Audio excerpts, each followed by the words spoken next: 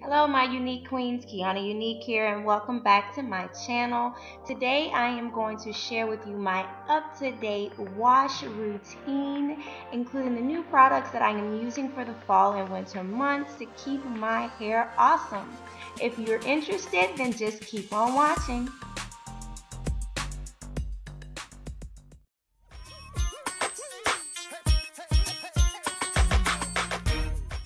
We are going to step out with the number one product that has changed my wash day routine. This is the Belle Bar Cassia Hair Gloss hair mask. I absolutely love this product here. I heard from it from Curly Proverbz on her YouTube channel. So if you have not seen her, go ahead and check her out. We are not doing a collaboration, but this product is just awesome. So let me tell you a little bit about it. As I'm sitting here, I scooped out one teaspoon and I'm just kind of breaking it apart. And then I am going to spray some aloe vera juice in there and this is just going to help make kind of a paste before I continue. What I really like about this is that it has marshmallow root, green tea, and a bunch of other awesome ingredients. What you're seeing me do now is I'm mixing my Aussie Moist, Mega Moist, um, conditioner in there and I'm creating me a hair mask with these two products.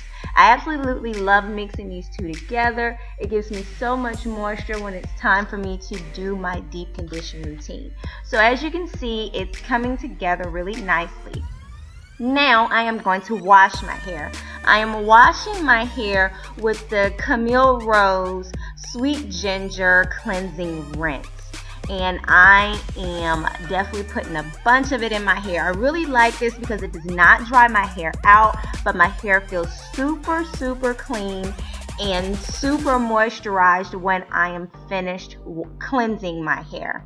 I make sure when I'm cleansing my hair that I hold my hair still and then I rub my fingertips through my scalp to make sure I'm getting all of the dirt and build up products off of my hair. And I am going to shampoo my hair twice and rinse all the shampoo out. Now instead of conditioning my hair, I'm going to skip straight to deep conditioning. The two products that I put together earlier was the Belle Bar Cassia Hair Gloss with my Aussie Moist Mega Moist Conditioner. And I'm going to work this through to where it coats every strand.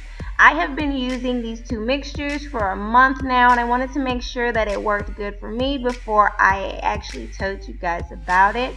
I definitely like the way it is leaving my hair strengthened. You can go and get this from the bellebarorganic.com website and I only use a teaspoon right now. It recommends a teaspoon to three teaspoons and I believe I'm going to work myself up to a two teaspoon amount but this definitely leaves my hair soft moisturized and strengthened I can see the retention is starting to happen and I'm super excited about um, this new find and how my hair is responding to it so now once I have all of the conditioner in here I am going to put my hair up into a plastic shower cap and I am going to either sit under the dryer for 45 minutes or sometimes I will um, just walk around the house and do chores